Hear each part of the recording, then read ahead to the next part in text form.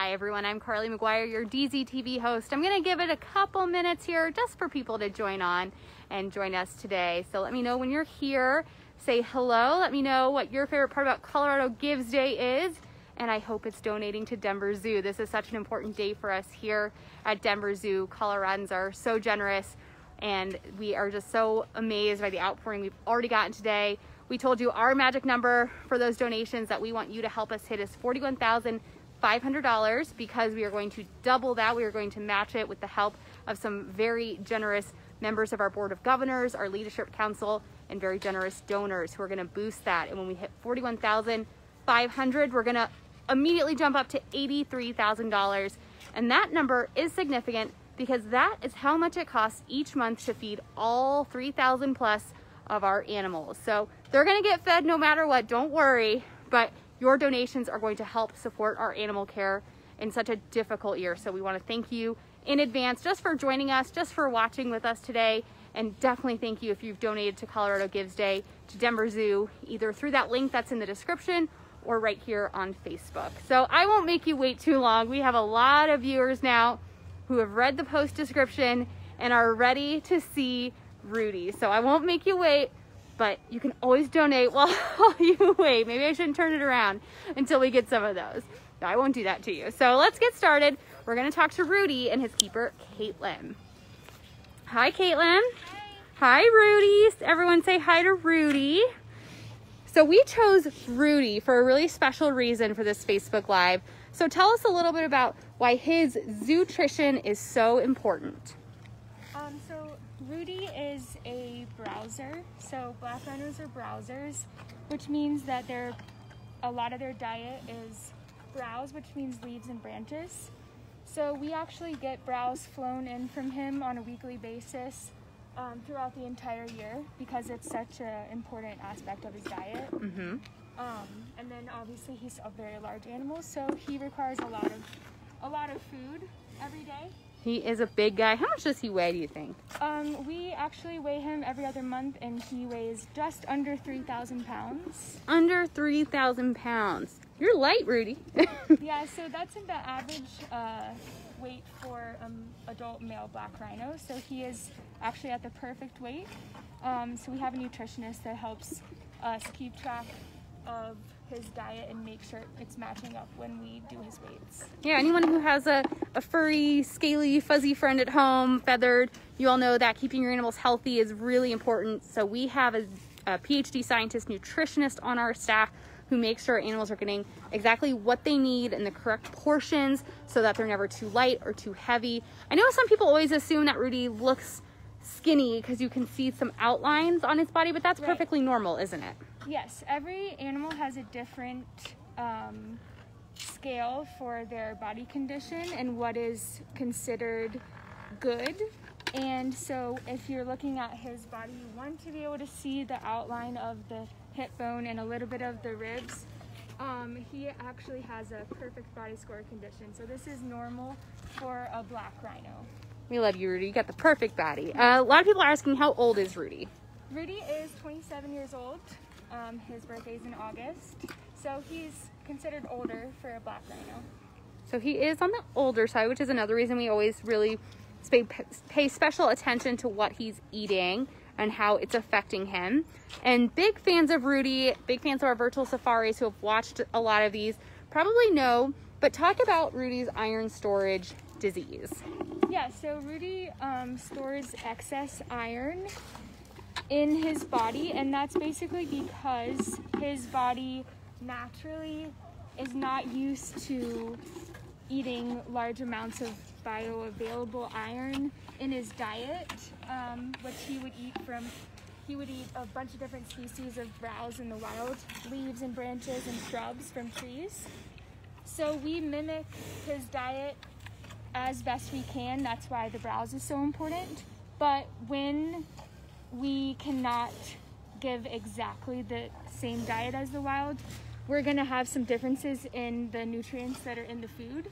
So he is on a specialized grain um, for low iron, but it's not enough to keep him from um, keeping all of the iron that he can his body does it automatically when there is iron in the food.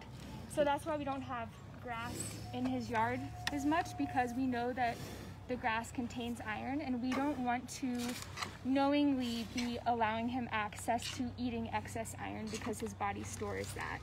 That's how dedicated we are to this animal care here at Denver Zoo that we are thinking about an animal's diet and body based on a molecular level, their microbiome, microbiomes of their stomach. So that's why zootrition is so important. That's why your donations are so important, especially on a day like Colorado Gives Day, because this browse, you can see some that he's stepping on and other right here is flown in. We can't grow this right here in Colorado. We need this all year round. And this is something he can eat. Um, we get ficus for him because we know that he really likes this species and it's good for him. Um, but yeah, we have to get it from Florida right now. And we get it every week for nutrition and the nutrition center delivers it to us daily. And there he goes. So browsing is when they are pulling the leaves and the branches down from the tree, whereas grazing, like cows, they eat straight from the ground. Yes, exactly.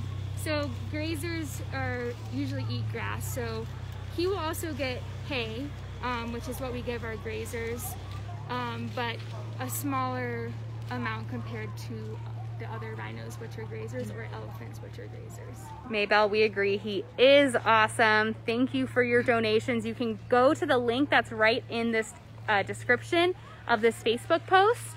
He's going into the shade. It's a little warm here in Colorado today, so we'll just get a little closer so we can see him. But you can go to the link that's right there in the description and donate to Denver Zoo through Colorado Gives Day match those donations today. We are getting a $41,500 match if we make that goal. So if you help us get to 41,500, we get another immediately, and then we've made our goal of 83,000. Thanks to you all. Um, Blair wants to know, are his ears stiff or are they fuzzy and soft? Um, the actual ear part is stiff. He moves it really well, so they're very muscular, but the hairs on the top are pretty soft actually, so it's a lot softer than you'd think, not like, not coarse like an elephant tail hair or pig hair. And then he's softest right behind his ears. Yes, the skin on right behind his ear and in between the um, leg uh, is the softest parts of his body. So when we do tours, we always get people to touch there to feel the difference um, of his skin. McKenna wants to know how many pounds of browse does he eat a day? Um, so he, right now, we can financially be able to support eight kilograms of browse a day, which is about 17 pounds of browse a day for Rudy. Um, but he could eat more. Um, browse is always uh, good in larger quantities for these guys, but um, he eight kilograms is what he gets right now. Um, and it's it's a lot because he is a big animal. So we're really fortunate that we do or we are able to get that much browse at least for Rudy. So Xander's wondering what Rudy's favorite food is. Um, he loves all the produce, so we give him produce for enrichment and training. Um, so he really loves carrots and apple slices. He'll get honeydew slices sometimes, and um, we give him all different types of fruits and vegetables. So those are probably his favorite. And then he also gets a, a treat biscuit. It's called a, um, well, we call it monkey chow biscuit, but it's a um, biscuit that kind of smells like oranges, but it tastes like cardboard. but they love it so But they much. don't mind. Yeah. They like that he taste. loves it so much. Uh, let's see that uh, low iron grain. You brought some of that out to kind of show yeah. the different foods that he eats. So while Rudy has some of his browse, we're going to show you. So, so this is just a small amount. He gets 20 pounds of this a day. So every week we get four 40 pound bags of grain weekly that we use throughout the week and we split it up into smaller amounts every day. And it is a low iron um, browser cube made by the company Mazuri, which is a um, company that specializes in making zoo guides. Very cool. Is this you hand feed this to him, or you just put the uh, bucket down? Um, he likes to be hand fed when we're out here, but since I have it in the Mm. bowl, he'll probably appreciate getting all of it at once. Oh, there goes your branch. Oops, um, Sheila wants to know how long has Rudy been with us at Denver Zoo? He came here uh, February of 2016. So, Almost, Almost, five years. Some fans of his are saying hi from from over there. So, um, people always ask about the horn. Do we file it? Do we shape it? no, we don't do anything with the horn unless he breaks off a piece himself and it could be dangerous for him um, and we could trim it. Um, but really, we don't do anything with Rudy's horns. He likes to file it and shape it himself, especially after he gets a hose bath and it gets all wet.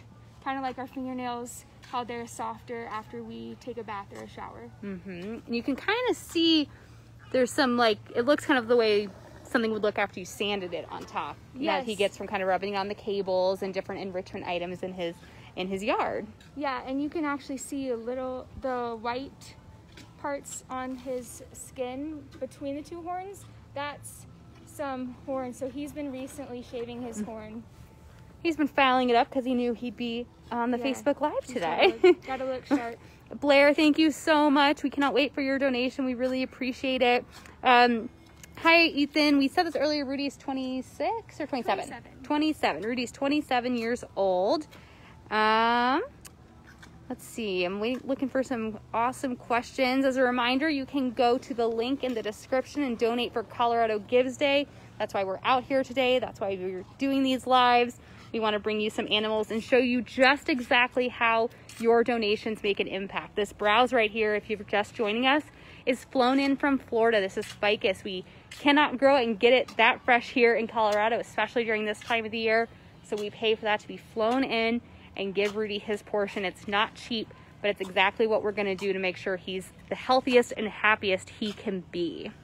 Um, Blair's wondering what is the size comparison between Rudy, a black rhino, and Tenzing, a greater one horn? So Rudy is around 3,000 pounds. That's the average for an adult male. Tenzing weighs around a little less than 4,000 pounds. Um, so, and that's for a female greater one horn rhino. Bandu, the male greater one horn rhino, which would be a better comparison of the two probably, um, weighs closer to 5,000 pounds. So, 2,000 pound difference. Um, you can really tell a difference if you get up up close to them. Um, Bandu really feels a lot bigger than Rudy. Uh, Joy Ann is wondering how long does this horn grow, and it's kind of as long as it as long as it can before it would break or be shaved off. Yeah, um, black rhinos, uh, their horns usually can grow pretty long, as well as the other African species, the white rhino. Other the other species and the greater one horn rhinos typically have a shorter horn. Um, so you could probably up to a foot, I would say. Oh, wow, and Rudy's not a big fighter. He's a he's a gentle guy here we have, but the black rhinos have the longer horns for the fact that they would use it as defense, right? Correct. And they could also use it for browsing or getting their, their diet. So um, we see him use his horn to get, when we hang browse on the cables or um, as enrichment in the yard, he's utilizing that horn to get the leaves and branches to eat. Um, so they can also use that as well as their prehensile lip. Yes, the prehensile lip. We haven't talked about it, but it's the very tip of his upper lip. It kind of looks like a big nub. It helps him actually just pick stuff up, just like a finger. Uh, elephants have it at the end of their trunk as well. A lot of our animals have prehensile tails. So that's a the word of the day for you. Uh, Blair wants to know if Bandu gets love. We do a lot of Juna and Tenzing Oh, talk yeah. and Rudy, but Bandu gets lots of love too. Yes, we love Bandu. He is such a sweet boy. You should watch him play piano. He's a prodigy. Let us know if you have more questions. They're kind of coming in faster, so I want to make sure I scroll back and see if I've gotten everyone's. I hope you're enjoying this beautiful day. If you're in Colorado, it's gorgeous in Denver today, so I hope you're getting outside and enjoying it. Uh, Colorado Gives Day, such an awesome day for Coloradans to show up for their nonprofits, including Denver Zoo. I don't think a lot of people actually stop to think about Denver Zoo being a nonprofit. We depend so much on your support. And when we were closed for 87 days without any other type of revenue, your support was huge. So we thank you.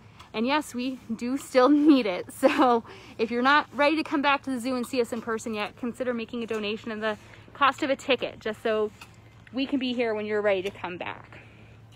So we've got a lot of people watching, but no, no questions. Everyone's just enjoying watching Rudy. I'm trying to get down here so you can see his, his lips and how he eats. Maybe you can see that drool trail going from bite of food to bite of food.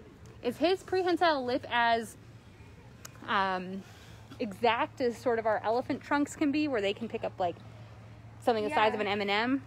Um, maybe not that small, but he's pretty good about getting almost every piece of grain off the floor or small pieces of uh, produce that we cut up.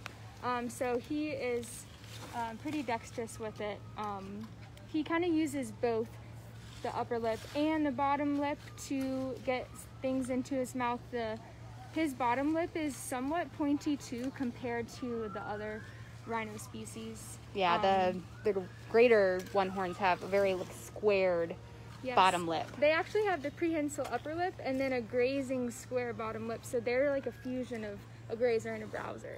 Hi Sheila, Rudy is a black rhino. So we have two different species of rhino here at Denver Zoo. We have a black rhino, which is why Rudy's got his own yard.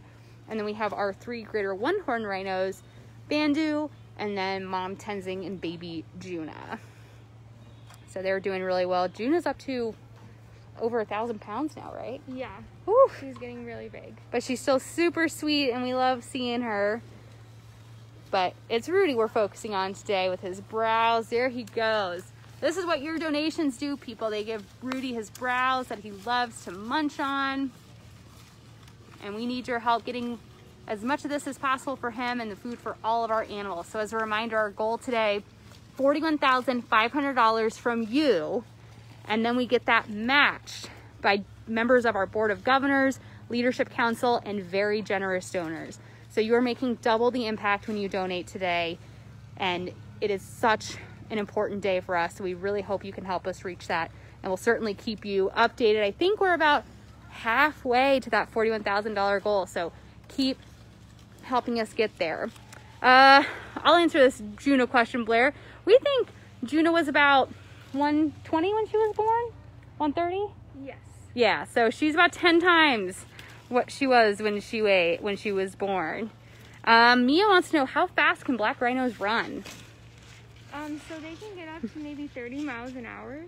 Um, 30 miles an hour. will run in his yard. Um, and he's pretty fast, especially because he's big and he just looks so graceful and covers a lot of space. But yeah, they can get really fast, 25 to 30 miles an hour. So uh, you don't want to try to outrun these guys. No, you don't. Uh, Linda, thank you so much for your generous donation. We really, really appreciate it. Um, I'm going to take a few more questions before we sign off here, but I'll just let you enjoy watching Rudy until those come in. If you have any for Caitlin or for me, let us know. He's about to fall asleep. He does look like he looked like me after I've eaten a lot of food. I'm just kind of like snoozy. It's warm out. If Rudy takes a nap, I will be very jealous. but he is enjoying himself. Let me know in the comments if you've ever fallen asleep with some food in your mouth, like Rudy seems like he's about to. Uh, Sheila wants to know what zoo did Rudy come from? Um, he came from the Oklahoma City Zoo. the Oklahoma City Zoo. So he's a Midwest boy, Yep. and then he came a little further out west. But he likes the mountains. He loves Caitlin, and he loves Dave, his two keepers. They can get him to just follow them around in the yard, and he does not do the same for me. um, Kelsey, our one of our former hoofstock keepers, says hello to Rudy and that she loves him. Hi, Kelsey. Hi to those just joining. Thanks for joining us for our very special virtual safari here on Colorado Gives Day. You can double your impact when you donate today. Up to $41,500 is getting matched today. So donations today, if you donate even just a dollar, five dollars, that's getting doubled. So thank you for donating today. Colorado Gives Day, such a big one here for us. I know a lot of people just had Giving Tuesday. and We had a lot of amazing donations for Giving Tuesday as well. But Colorado Gives Day is a all-time big one for us at the end of such, such a difficult year for everyone. So we appreciate anyone who can help. we appreciate all these viewers and all these watchers. I knew Rudy would have a lot of fans. Always.